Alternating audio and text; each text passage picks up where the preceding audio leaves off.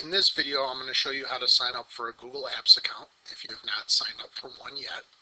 First thing you need to do is you just go out to google.com and you should notice in the upper right hand corner this sign in link and go ahead and click on that. And since you already do not have an account, what we're going to do down here is go to create an account. From here, you type in your email address. This does not have to be a Gmail account.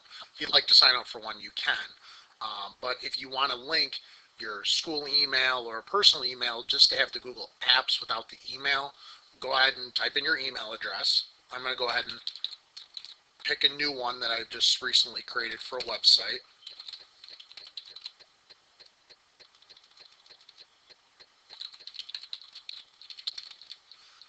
And then from there, you're going to go ahead and choose a password. Right now, it is a minimum of eight characters, and it'll give you your password strength. If your password strength is weak, it will not let you sign up for the account. Then you have to re-enter it again. As you'll notice that it thinks my password's weak, so I will not be able to use it.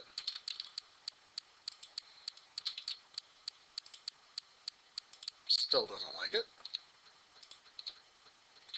So it's good. You're going to look for either good or strong uh, when you're creating the account one little change there made the account strong. You can choose to either stay in, stay signed in or enable web history. Um, either one, that's your choice. It is going to look for location, then it does look for birthday because there are some features that will be disabled if you are under the age of 13. Then you got to put in their secret word. Sometimes you might have to do this a couple times if you're having trouble with them. Then I'm going to go here and accept and create my account. Then you'll notice that it says it sent me an email. And what's going to happen is it's just going to send you an email with a link to verify the account. And once you've done that, your account is set up.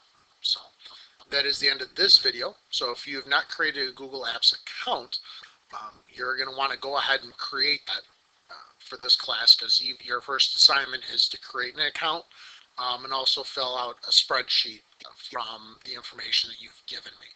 If after you've created a Google account and you and you do not see a collection with the class name, please email me and I will go ahead and get you shared out on that account. Thank you.